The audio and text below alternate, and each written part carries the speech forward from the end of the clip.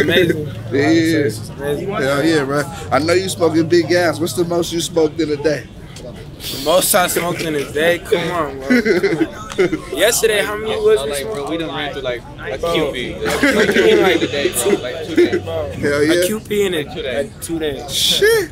How you That's feel about the some dope. Packwoods box, Also- man? Also, Snoop Dogg, Wiz Khalifa. Real, real shit. We smoking gas. they Backwoods can try to smoke papers, us out, but we, out of? we probably gonna smoke them out.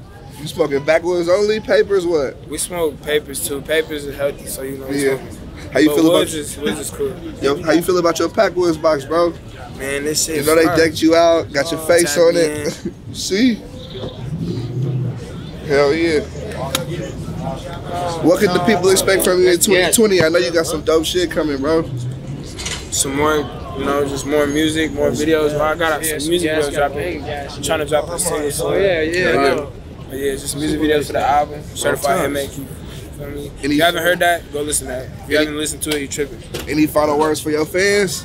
I know you know you got a whole bunch Hey, of them. It's my fans. Love y'all.